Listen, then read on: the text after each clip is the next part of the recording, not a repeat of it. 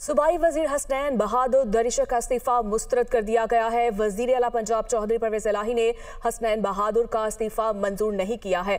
हसनैन बहादुर मेरी काबीना के काबिल वजीरों में से हैं और मजीद भी उनकी जानब से कहा गया है, मेरे महकमे को अच्छे तरीके से वो चला रहे थे।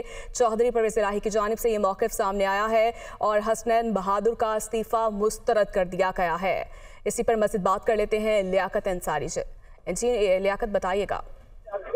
जी बिल्कुल वज़ीर अला पंजाब से परवेज लाई ने सरदार हसनैन बहादुर दृश्य का इस्तीफा नामंजूर किया है और अब कबीना के सेकंड लास्ट इजलास में ये नाराज़गी की वजह से इस्तीफा चले गए थे और बाद में इन्होंने इस्तीफा दे दिया था लेकिन वज़ीर अला पंजाब से परवेज ने उनका इस्तीफा नामंजूर करते हुए उन्हें काम जारी रखने की हदायत की और कहा कि हसनैन बहादुर रेशक उनकी काबीना के काबिल वजीरों में से एक है और हसनैन बहादुर रेशक उनके लिए वैसे ही अज़ीज़ है, जैसे मोनस लाई उन्हें अज़ीज़ उन्होंने कहा कि हसनैन बहादुर दृश्य की परफॉर्मेंस बहुत अच्छी है और बतौर सूबाई वज़ीर अपने महकमे को आसन तरीके से चला रहे हैं।